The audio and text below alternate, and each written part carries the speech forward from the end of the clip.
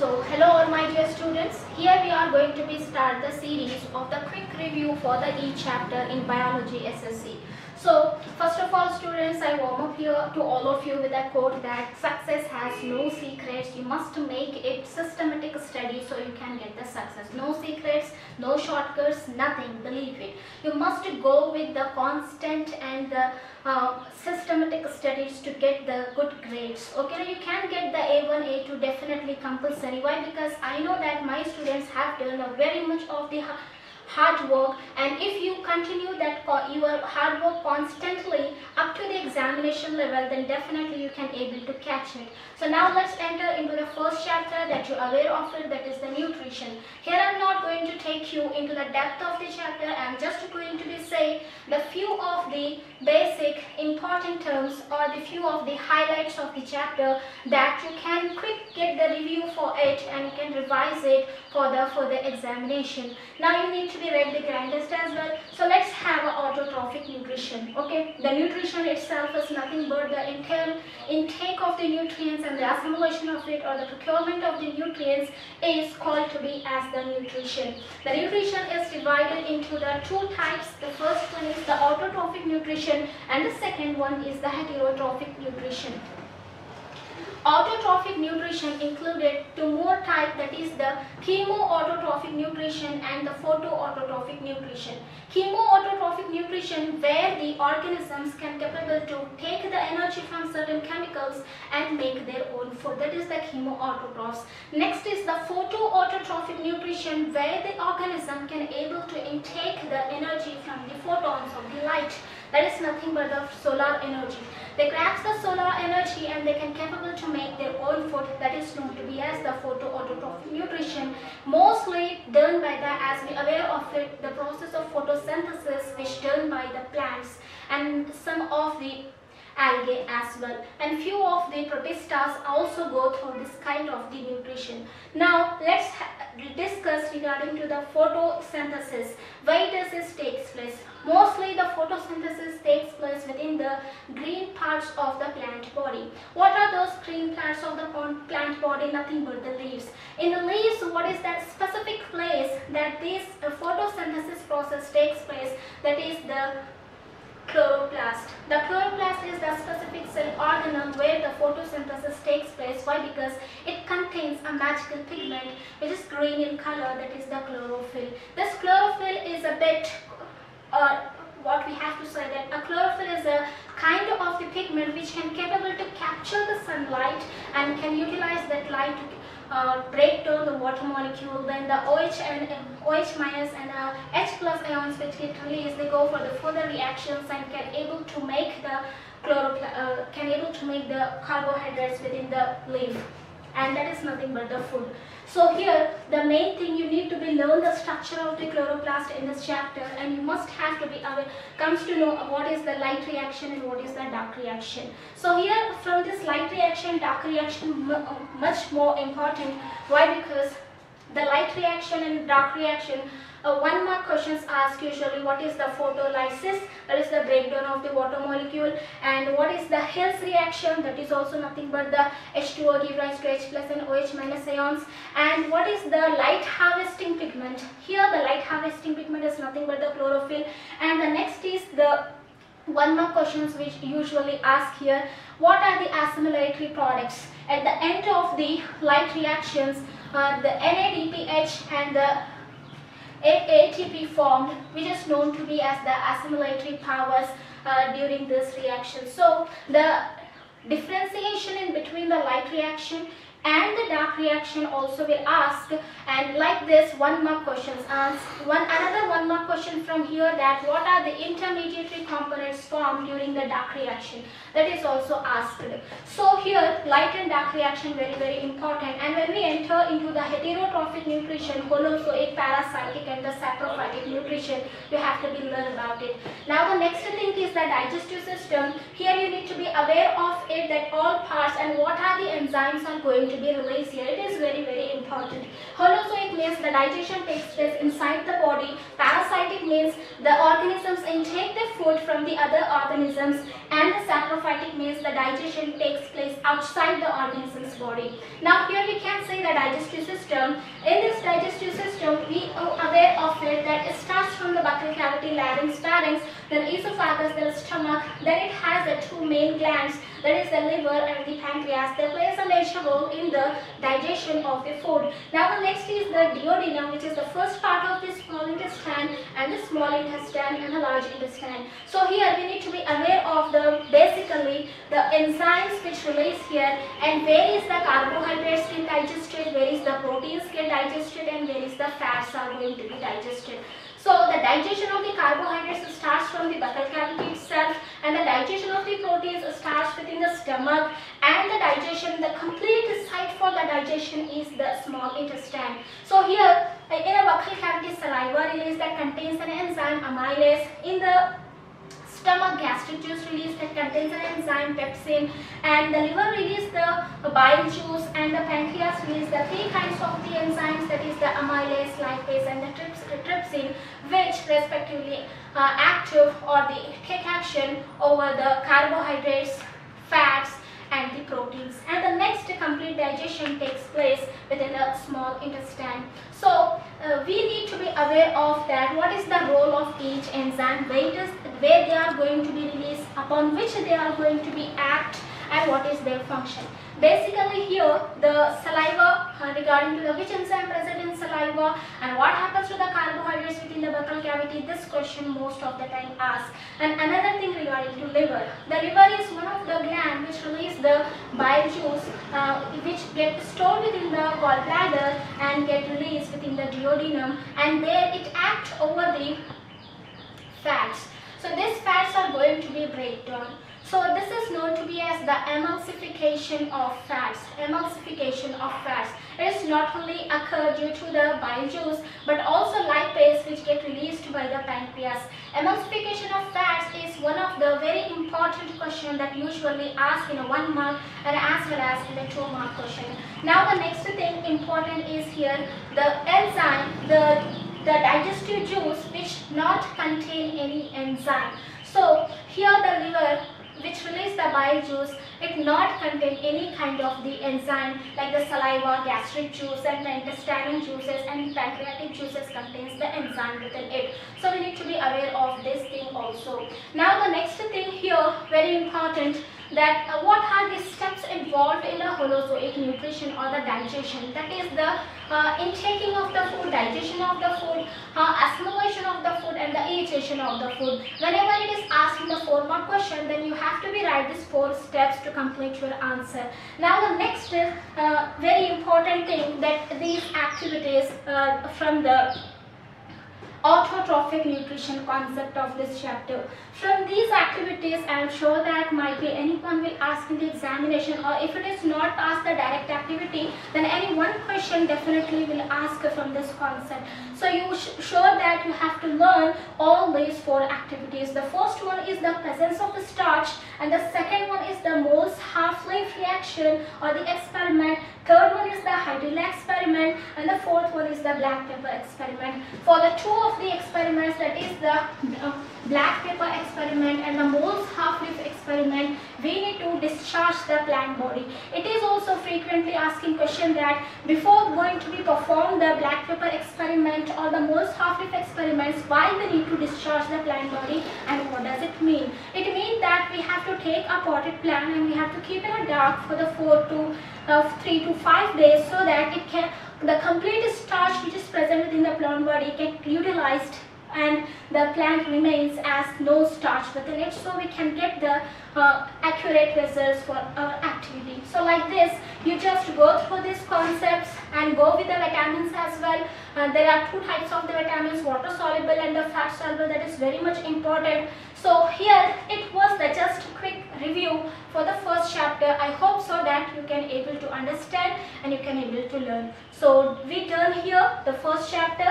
but Vitamins don't forget that water soluble is the B complex and the C and the fat soluble are the A, D, E and K. So learn that what are the diseases caused because of it. Learn that uh, where it is available, which food components uh, contain vitamins, these vitamins make sure to learn everything uh, including the malnutrition as well. So this is regarding to our chapter quick review. I hope so that you all understood and I hope so that you will revise it continuously.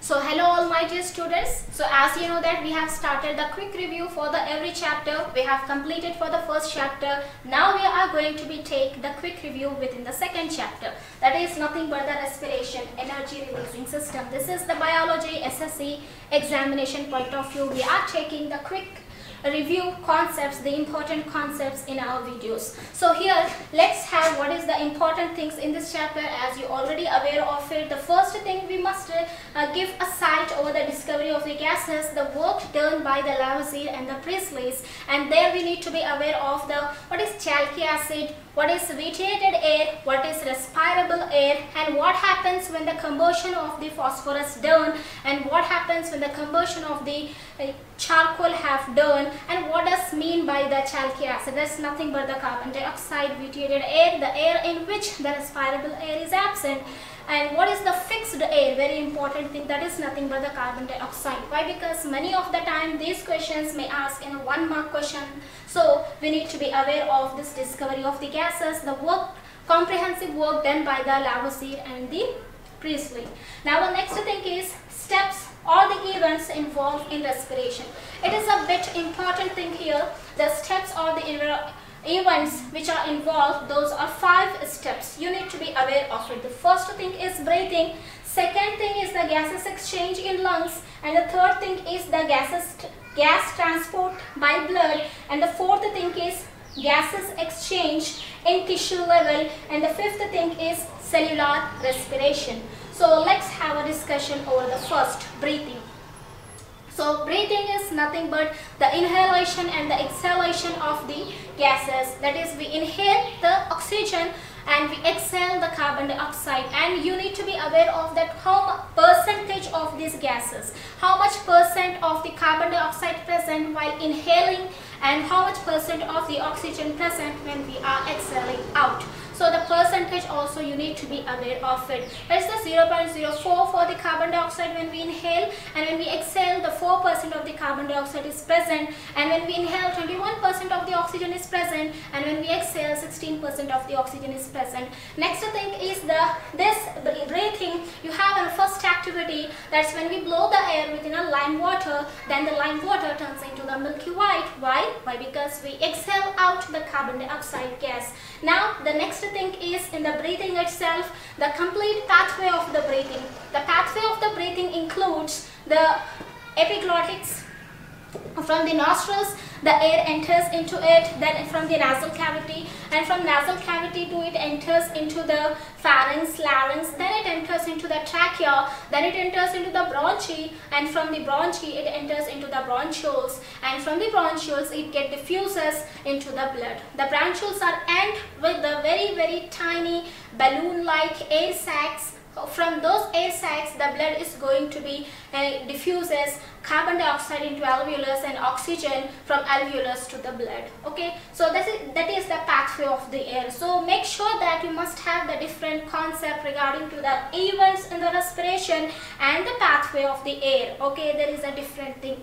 And another important thing in the breathing is that the function of the epiglottis the function of the epiglottis, the epiglottis eh, which is present in the larynx region, it is a larynx region. So here the epiglottis is present as you see. So this epiglottis is normally function as a valve for the food pipe and the air pipe. When we are swallowing the food, it covers the trachea. As you see here, this is the epiglottis, larynx, pharynx, trachea and these are the bronchioles and these are the bronchioles and at the end of the bronchioles, the blood capillaries are present and these alveolus are present. Alveolus are very very tiny air sacs, balloon-like and they are made up of single cell thick wall. So on the same way, blood capillaries also made up of single cell thick wall so that they can able to diffuse as gases into each other. So simply as we know that the oxygen from the alveolus diffuses into the blood capillaries and from blood capillaries carbon dioxide diffuses into the alveoli. So here you can see the structure of one alveoli ball that this is the alveolus and this is the blood capillaries which is around it. Okay. So this is regarding to the pathway of the respiration and function of the epiglottis. Now the very important thing within a breathing is that the inspiration and the expiration. Inspiration, expiration, very important thing from this chapter. You need to be aware of that how we inhale, the mechanism involved in during inhalation and exhalation. We need to be aware of that the lungs are spongy in nature and very very delicate organs. They unable to intake the air within them, uh, air itself cannot be go into the lungs and cannot come out. For that, the two things are involved. One is the diaphragm and another one is the rib cage muscles. So you need to be aware of that what is the function of the diaphragm. Now, the next thing is here uh, usually many of the students ask me uh, to say the uh, function of the diaphragm here. So diaphragm is a floor for the thoracic cavity. It is function like a floor. Usually it's uh, present as a dome shaped. Okay, whenever we inhale, then these diaphragm muscles contract and they becomes flattened. So when they becomes flattened, then what happens? The air rushes inside the thoracic cavity due to the less air pressure. Then on the same way during the exhalation, what happens? The diaphragm muscles get relaxed and it comes into its original shape that is the dome shaped. So that what happens? Get the uh, air pressure within the thoracic cavity get increases so the air rushes outside. Now the next important thing here the gases exchange in the lungs level we discussed regarding to the alveolus and the next thing is gases transportation by blood. The blood is one of the uh, main transport system uh, which supply nutrients, which supply oxygen and it takes back the carbon dioxide to the lungs as well. Now the next thing is the gases exchange in the inter in the tissue levels. So what happens usually the concentration uh, in the tissue level uh, oxygen concentration is lesser than compared to the carbon dioxide so that the hemoglobin which combine with the oxygen in the lungs and forms the oxyhemoglobin in the tissue region it breaks down and it releases the oxygen and the tissues get that oxygen and give back the carbon dioxide. So like that the carbon dioxide come back to the lungs and some of the ways it get eliminated in the form of the carbonates as well. Now the next important thing in this chapter that is the cellular respiration cellular respiration means when the respiration respiration takes place inside the cell. All kinds of the living uh, organisms, all kinds of prokaryotic, eukaryotic cells perform the cellular respiration. It is of two types, aerobic and anaerobic. Aerobic means it takes place within the presence of oxygen. Anaerobic means it takes place in the absence of the oxygen. Here you can see that the what are the steps involved in the cellular respiration? The first glucose, glucose molecule breaks down into the pyruvate acid that is known to be as the 3-carbon molecule. It is uh, especially takes place within the cytoplasm in eukaryotic cells and as well as in the prokaryotic cells. But in the case of the eukaryotic cells, the next series of the reactions will take place in the mitochondria but in the prokaryotic cells due to the lack of the cell organelles, it takes place within the cytoplasm itself. Now here we have the two steps that says uh, about the aerobic and the anaerobic respiration. Here we have taken the first absence of or lower amount of oxygen. First we will take the example the partially presence or inadequate quantity of the oxygen. This is takes place within the bacteria and some of the times it takes place within the muscles of the human being. So that you're aware of that when we do the vigorous exercise we need the more amount of the oxygen in the inadequate quantity of the oxygen the glucose molecule incompletely break down and release the lactic acid that causes the sudden cramps in our muscles. So do you feel pain in the muscles after the exercise? Now the next thing the complete absence of oxygen in the yeast cells they form, uh, they form the ethanol and release the carbon dioxide and release the energy and this ethanol is nothing but the kind of alcohol for the formation of the fermentation and as well as making the alcohols this kinds of the uh, this kinds of the respiration is going to be uh, takes place. Now the next thing is the presence of oxygen. It is known to be as the aerobic respiration that usually takes place within the all kinds of the eukaryotic cells. So presence of oxygen, what happens here, the glucose molecule completely break down and release the carbon dioxide, water and the higher amount of the energy. And here the energy release in the form of ATP. And this ATP is known to be as the adenosine triphosphate. It is the triple phosphate bond. When it is get break down, then it release the energy. And it contains the 7200 of the calories of energy. So this is the very important concept of the chapter. Many times this cellular respiration asked in the examination so you need to be aware of everything about it. Okay, now every cell need to perform the respiration. So now the next thing is just high, uh, once go through these activities, uh, the carbon dioxide and heat evolve during the anaerobic respiration and the next thing carbon dioxide is evolved during the respiration. And the next thing sugar activity. The sugar activity explain us the differences in between the combustion and the respiration. So the activities are very important. So this was the quick review in our second chapter. So i hope so that you understood go through this. So we have done this chapter now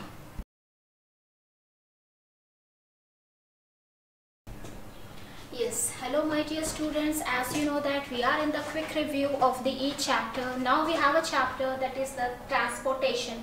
As you know this is the third chapter in the SSC biology.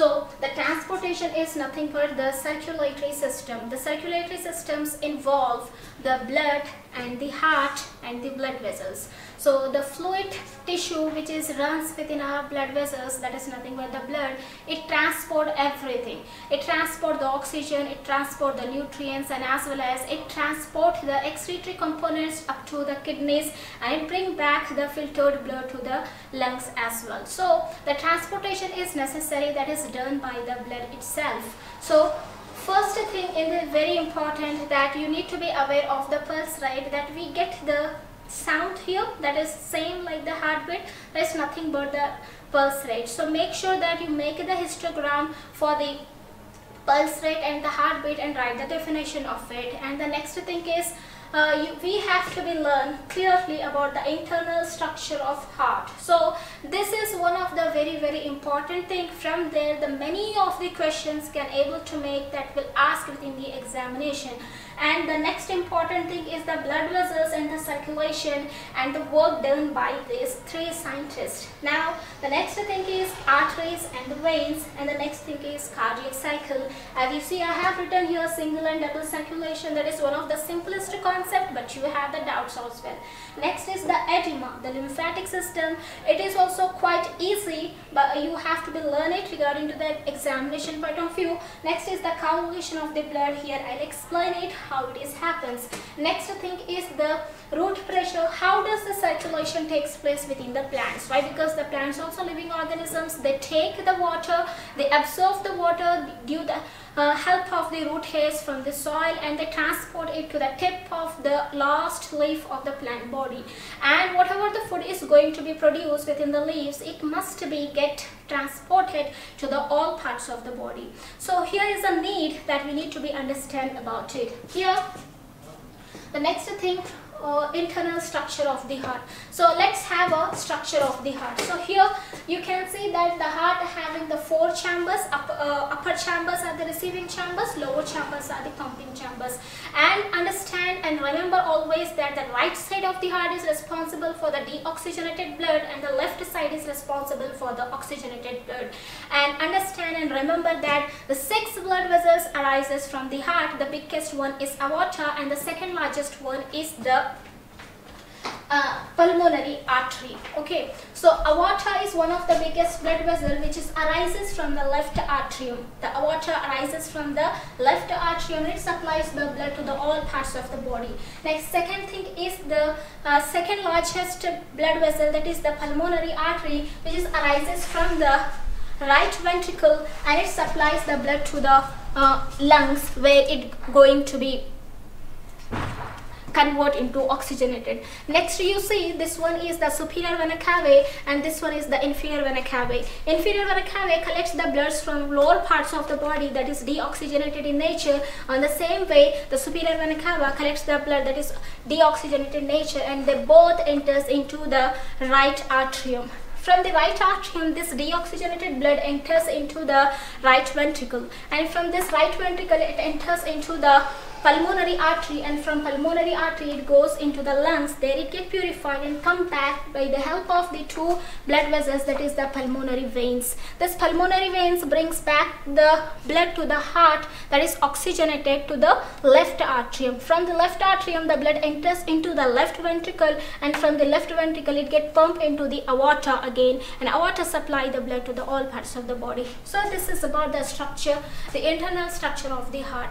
And another very important things in the heart is the presence of the valve these you can see that the right side is the tricuspid valve present and the left side is the bicuspid valve present. And not only this within the pulmonary vein there is lunar valve that is the uh, pulmonary valve present and within aorta systematic valve are present. And this valve plays an important role uh, for forming the heartbeat and as well as for pumping the blood in the respective way. Now, the next thing is what kind of the questions will ask from the internal structure of the heart. Uh, mainly the biggest blood vessel will ask and the next thing is what are the lower chambers, what is the function of it. The next thing is what is the uh, septum uh, which is present in between the ventricle and auricles, what is the uh, septum which is present in between the auricle and auricle. So what is that fluid that protects the heart from the shocks and jerks and what is that membrane which covers the heart. So these kinds of the questions will ask, you need to be aware of it next thing is the blood vessels and the circulation the you can see here Fabricius studied the valve within the veins and the William Harvey studied the valve within the heart and the Marcello Malpighi studied the blood capillaries within the wings of the bat. So these studies explain us about the complete circulation within the body that you listen with once that from all parts of the body the oxygenated blood get collected from the,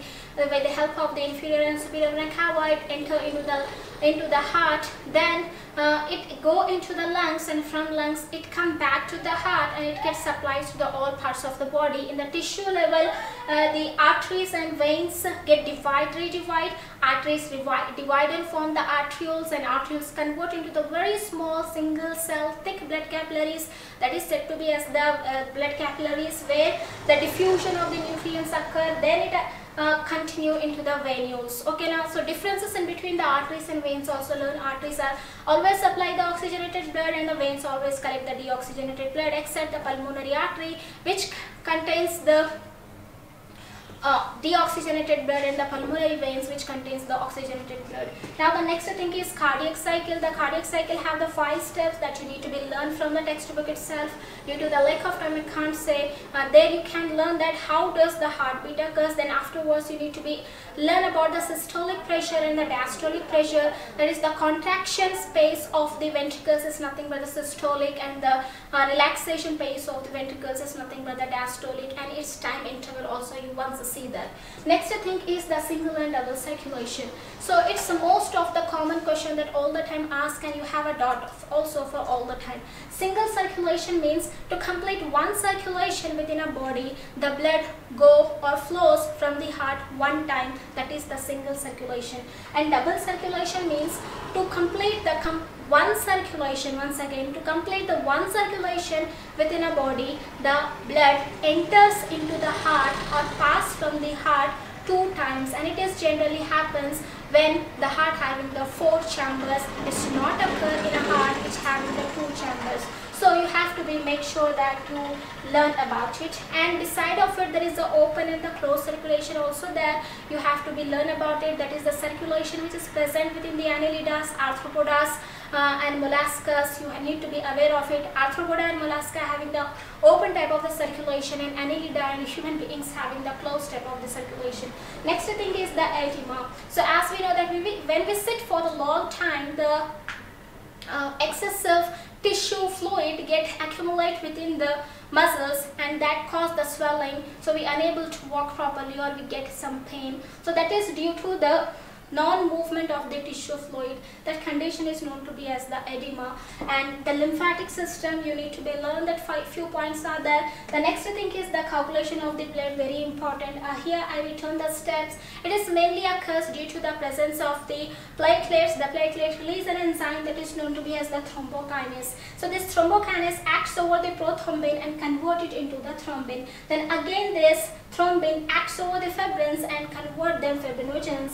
That is uh, un undissolved fibrinogens that not allow any blood cells to flow okay? So this is the blood coagulation. Many of the times it asks that when you get injury then if 5 to 6 minutes your blood start to coagulate it not flow again. So what's the reason behind it? So the blood coagulation is one of the very important thing. Now the next thing is the plants. In plants how does the circulation takes place? As we know about the xylem and phloem the both conduction tissue which plays important role for the transportation of water and the transportation of the food as well.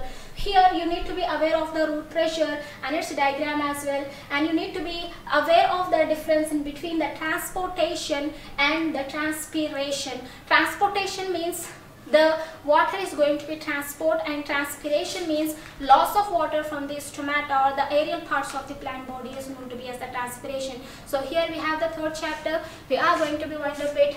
You, I hope so that you have understood very well and have any doubts then you can clarify next time.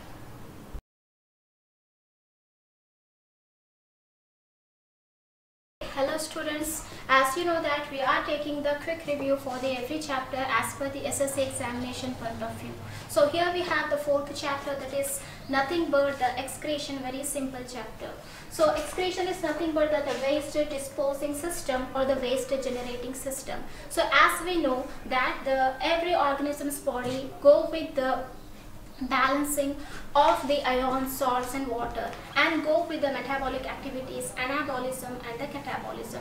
During this what happened? Many of the wastes get generated within the human body and as well as other organisms body. Here usually we will talk about the human excretion and the simple thing we will talk about the plants excretion also. Then we will take about the alkaloids primary and secondary metabolites. Now here in this way, first we need to be aware of the life processes and their products. As we know that during the digestion, amino acids, glucose and the many other things are going to be um, uh, prepared or absorbed into the body and during the photosynthesis, oxygen is going to be liberated out and the starch or the carbohydrates are going to be prepared.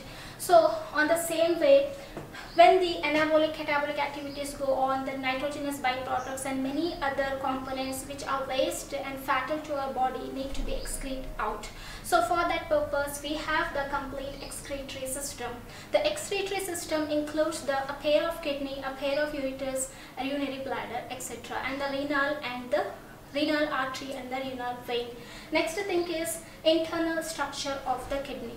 The internal structure of the kidney uh, really very important. We need to be aware of that. Uh, the right side kidney, left side kidney, why there is a difference in their sizes. Usually the right side kidney is slightly smaller than the left one. It is a one of the one mark question that usually asked in the examination. That is due to the presence of the liver.